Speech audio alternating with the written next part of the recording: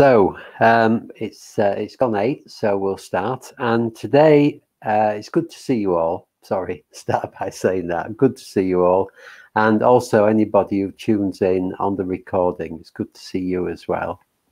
Uh, and today we're going to do the Metta Bhavana meditation, which is the loving kindness meditation. Loving kindness for ourselves and others, uh, all others, in fact. Um, and on a Wednesday, we do this practice just for ourselves, uh, which uh, I think is really important in a way because, well, not in a way, it's just really important because if we don't uh, have a a reasonable regard for ourselves, then it's very difficult to have a positive view of the world.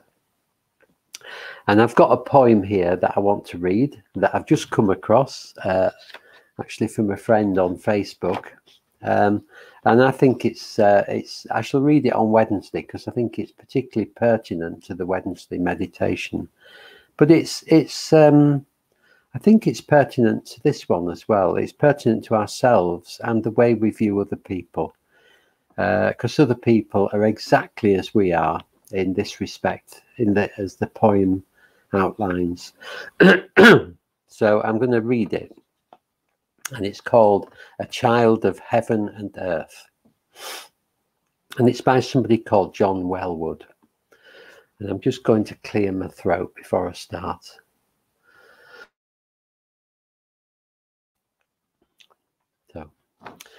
Um, so here we go.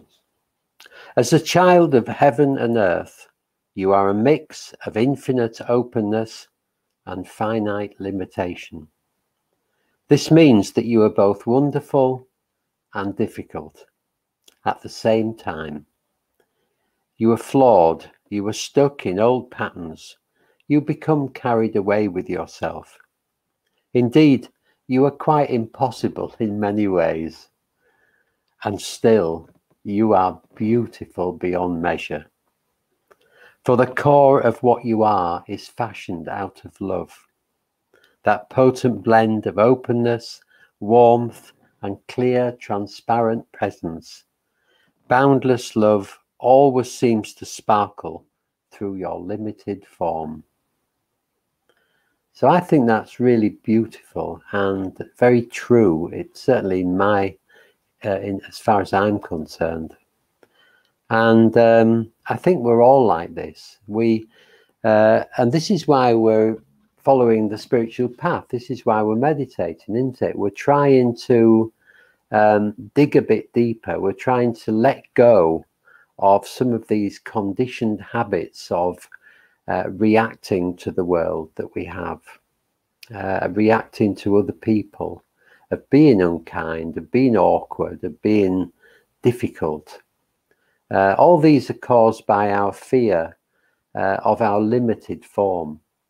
And meditation is really about trying to uh, let go of that limited form and to make contact with something that is very, very special and very mysterious and for the want of a better word, you could call it kindness. You could call it loving kindness. Um, you could call it enlightenment or awakening as well. But in essence, um, it's awareness and loving kindness. Um, uh, pure awareness and pure loving kindness. And obviously, we're a long way from that. I'm a long way from that. Um, but that doesn't mean to say that we can't start moving and keep moving towards it. And that's what this meditation is about. It's uh, in the first stage, it's about accepting ourselves. And in stages two, three, and four, it's about accepting other people, even people that we have difficulty with. Um, so that's what we're aiming to do with this meditation. It's about uh, certainly it's about trying to radiate love into the world as we meditate, but a lot of it is about seeing our uh, limitations and dealing with them. Uh, well, seeing them, just seeing them is enough, and that helps us to deal with them. If we see our limitations, we can go beyond them. If we don't see them, there's no chance of us going beyond them. So, what we're doing in this meditation is seeing our limitations, seeing the bits of us that react to other people, uh, or at least are indifferent to other people. And just noticing that and being aware of it starts to change us. So it's quite magical. And it's this is a very radical meditation, as I keep saying. It's uh, it's it really subverts the uh, the limited human form and takes us somewhere else if we keep doing it. Okay, so I've said enough now. Uh, let's get on with the meditation. So make sure you're comfortable. Uh, maybe take a few deep breaths begin with if you wish. Just breathing in fully, holding it for a few seconds, and then breathing out completely.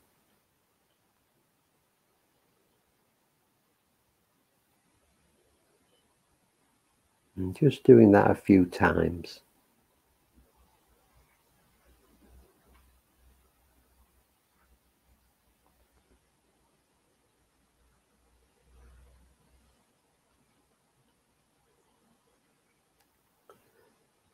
And as you do it, relaxing as much as you can in your mind,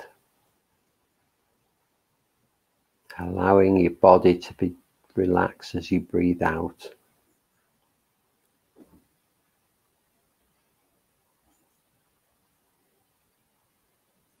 Giving up the weight of your body to the bed or the floor, the chair, the cushion.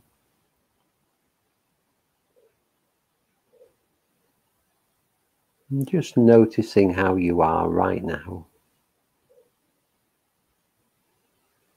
Mentally, emotionally, and physically.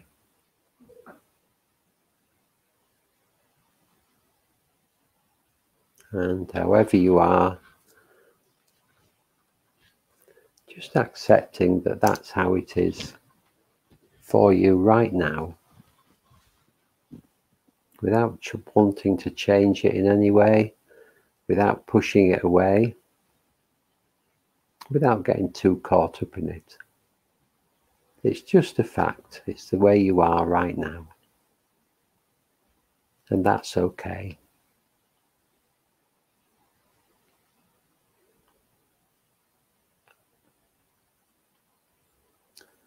Bringing our awareness to the upper body to the chest. And just noticing as always the rising and falling of the chest as we breathe.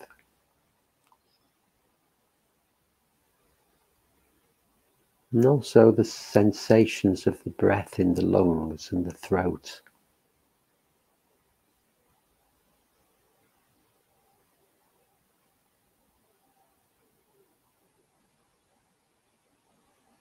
Just very calming to be with the sensations of the breath in the upper body.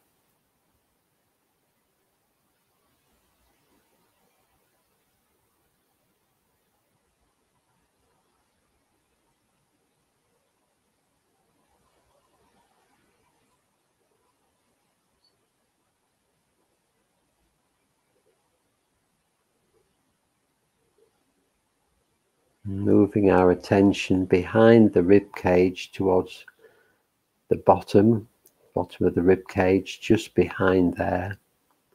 In the middle of our chest is the heart center, the chitta. The place where we feel our positive emotions. Place where our wisdom lies, actually. We just listen to it, we're just aware of this chitta, this heart center.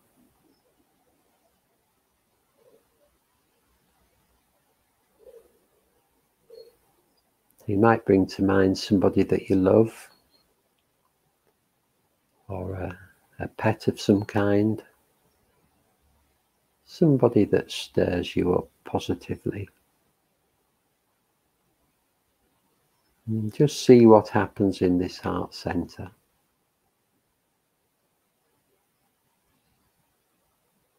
It should feel, it could feel really pleasant, warm, wholesome.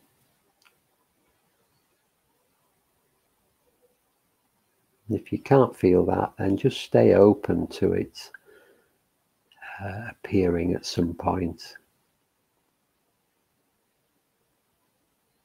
If you can feel it, don't do anything with it, just allow it to be there, allow it to spread through your body.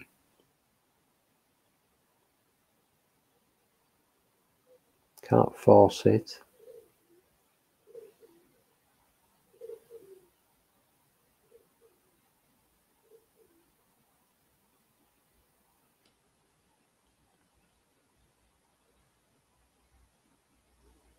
So in the first stage of this practice, we're just going to just going to reflect on our own lives and our own sense of being.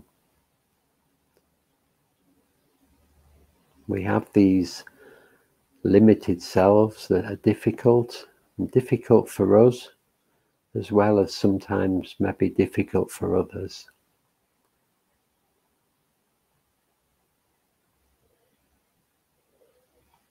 Maybe we can just acknowledge that to begin with.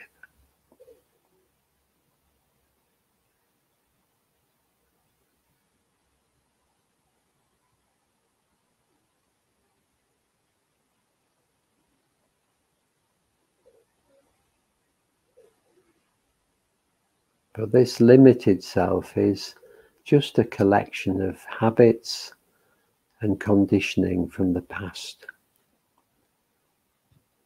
mostly brought about through a sense of fear or dissatisfaction. They're not who we really are.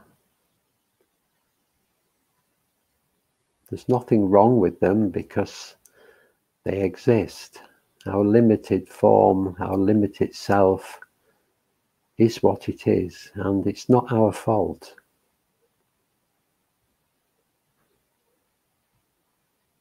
So, can we just accept ourselves as we are, but acknowledge that we can change, acknowledge that there are things we'd like to change.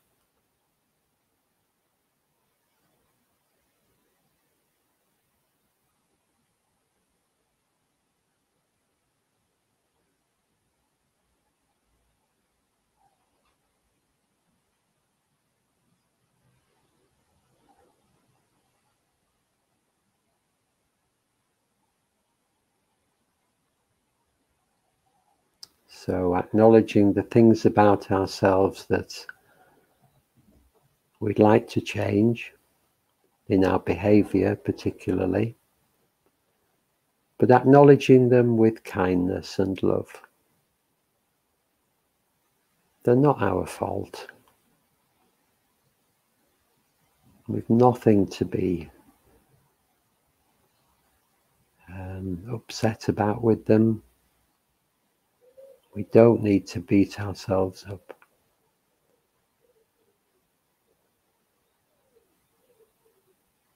But we're just seeing them very clearly. And just by seeing them, they will begin to change. That's all we need to do.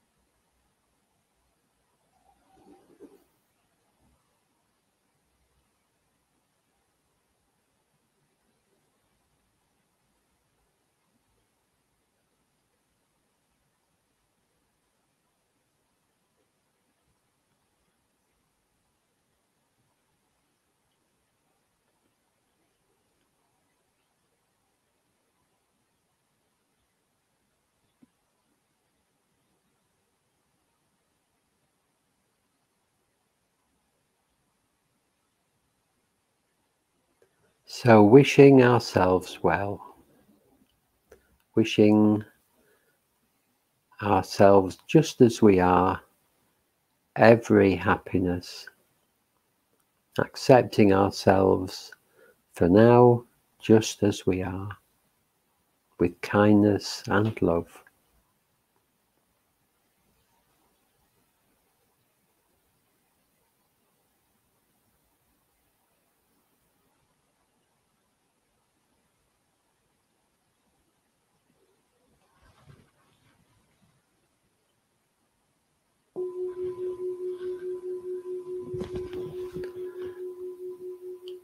So, in the second stage, we're going to bring to mind uh, a good friend, somebody that we really love. Just seeing how that affects our heart center, how that makes us feel in our heart center or any other part of our body.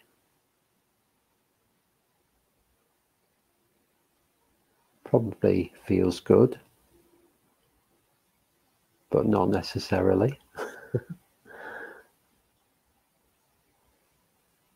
so just bringing this friend to mind in whatever way we can.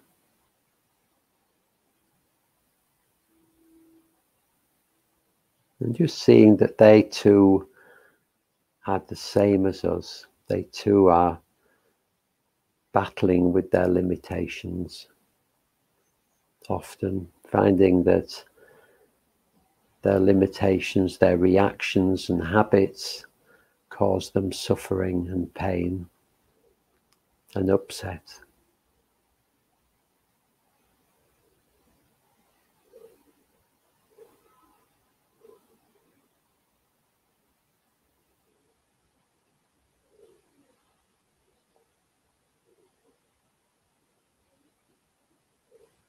And life is painful sometimes, as well as joyful sometimes. So, can we wish them well in their lives? Wish them freedom from at least some of their habits and limitations and difficulties.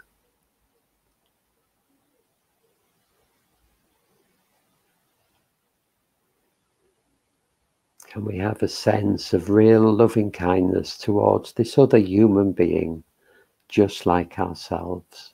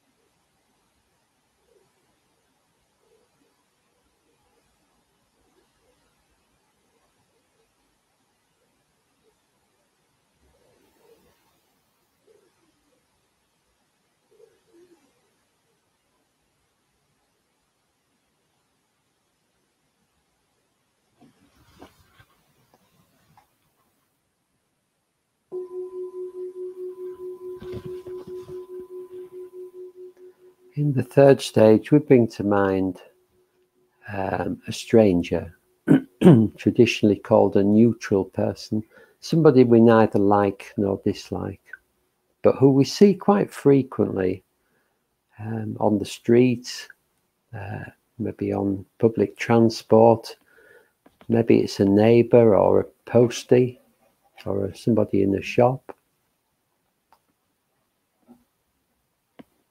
And just bringing them to mind as an image or a sense of them if we can't do the image.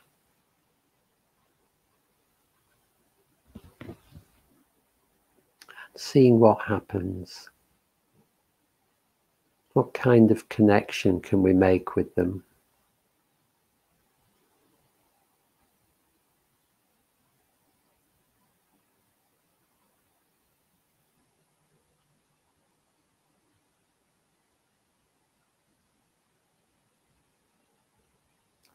Might be that we can't make much of a connection. And if that's the case, it's fine. We might we might connect with them, but mostly we find it difficult with people we don't know. Um, they don't really touch our lives very much. So it's quite understandable that we don't connect with them very easily. Yet, this person is just like us in so many ways. They too have the limitations brought on by conditioning and habits, just ways of being in the world that cause them difficulties sometimes. So their lives, like ours, are very much up and down, full of happiness and joy sometimes, pain and suffering at other times.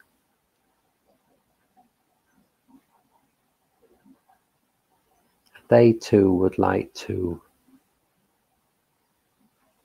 be happier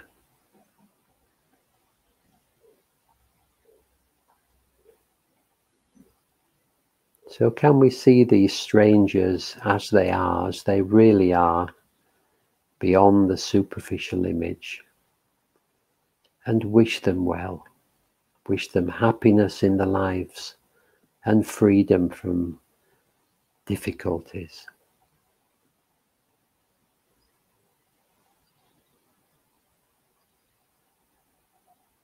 Just having a sense of kindness and love towards them.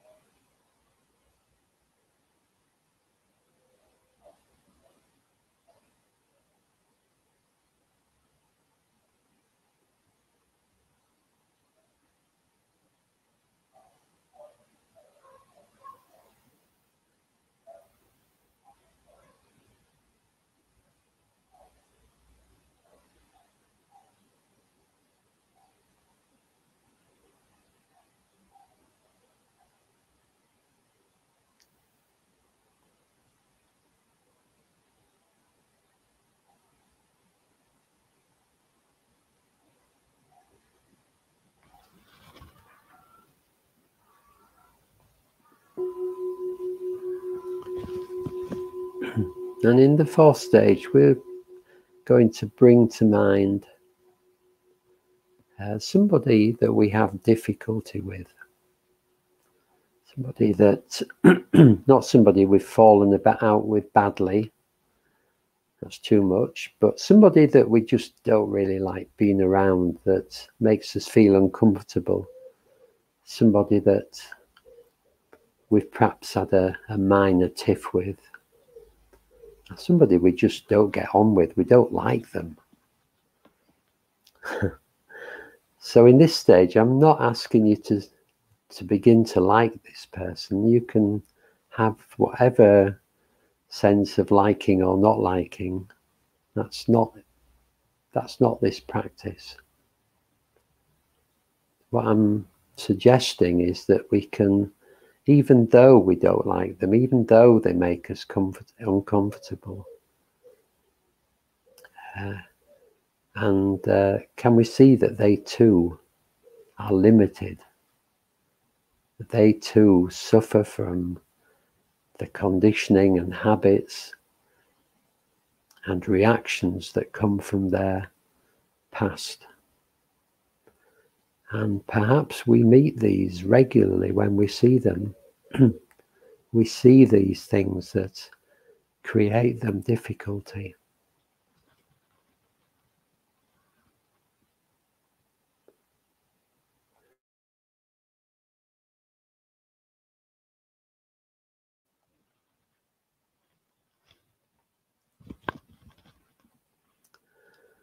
So they too want to be happy. They too would like to be able to live their lives without the difficulties.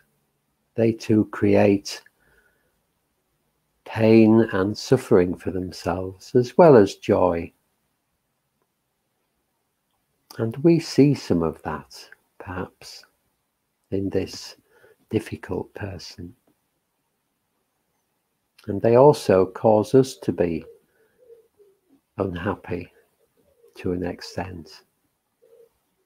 They also cause us to suffer when we actually are with them. So we can have a lot of compassion for them and for ourselves.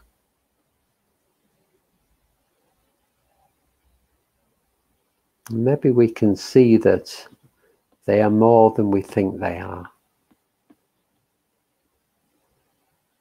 We don't have to like them, but we can look beyond the superficial image that we normally see. So, can we wish this person well? Can we wish them freedom from suffering and happiness in the life? can we have a sense of loving kindness towards them in spite of the way we feel about them?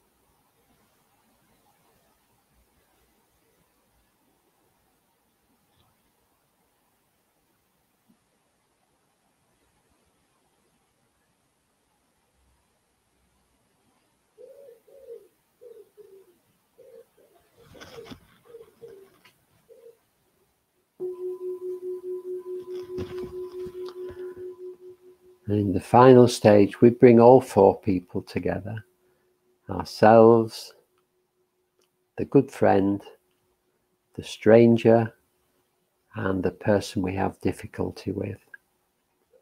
And you see that although superficially we're very different, uh, and maybe in some qualities we're very different too, but fundamentally, deep down, we all have this sense of difficulty and unsatisfactoriness in our life that creates suffering and unhappiness. And it's not our fault, and it's not their fault. It's just our human condition. It stems from our conditioning and our habits.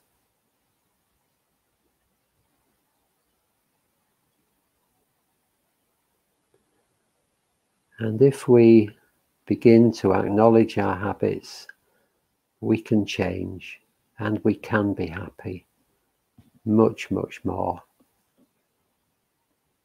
We can find more joy and contentment in our lives. So, can we wish all four of us uh, well in our lives? wish for all of us a happier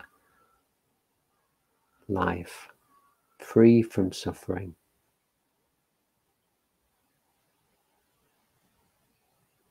Free from pain. Can we have a sense of loving kindness to all four of us?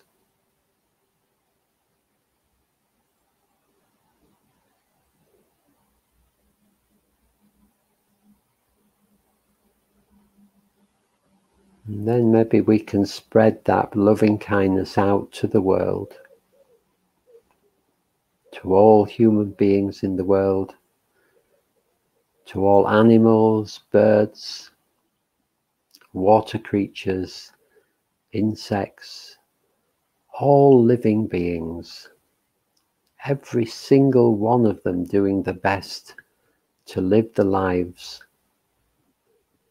with the conditions they've been given. Every single one of them, sometimes full of happiness, sometimes full of sadness, grief, disappointment, or anger. all of us struggling sometimes with our habits and limitations. So, can we wish all these living beings in the world? Can we wish them well? Can we shower them with loving kindness?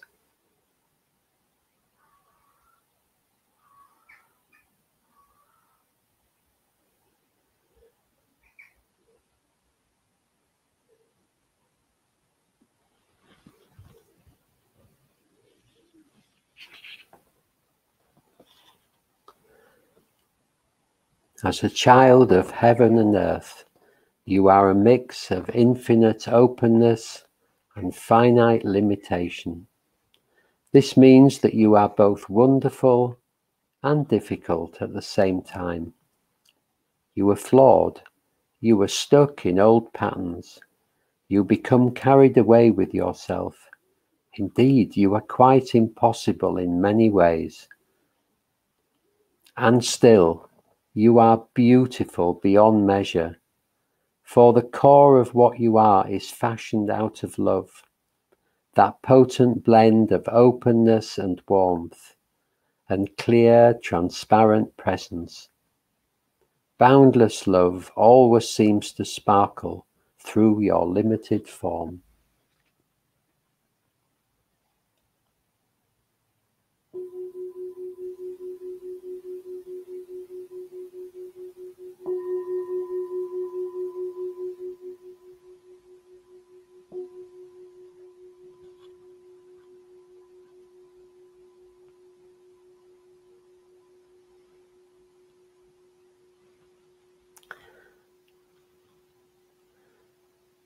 So I think that poem is so true. And if only we can let this openness, um, this beauty in the core of our being out, if only we can let this boundless love that we have deep inside free, uh, that we cover up so much with other things.